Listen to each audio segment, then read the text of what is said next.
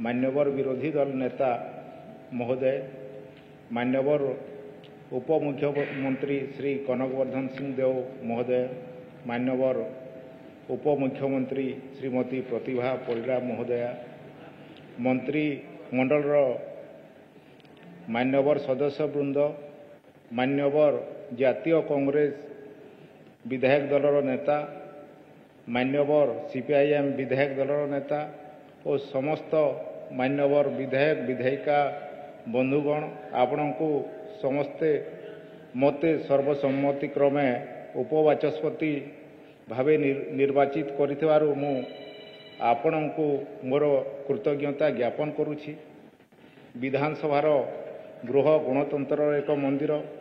ମୁଁ ଆଶା କରୁଛି ଆମେ ସମସ୍ତେ ମିଳିମିଶି ଏହି ପବିତ୍ର ଗୃହର ମର୍ଯ୍ୟାଦା ରକ୍ଷା କରିବା ପାଇଁ ଯତ୍ନବାନ ହେବା। ସମସ୍ତଙ୍କୁ ପୁଣି ଥରେ ମୁଁ ହାର୍ଦ୍ଦିକ କୃତଜ୍ଞତା ଜ୍ଞାପନ କରି କରିବା ସହିତ ଧନ୍ୟବାଦ ଅର୍ପଣ କରୁଛି। ଜୟ ହିନ୍ଦ।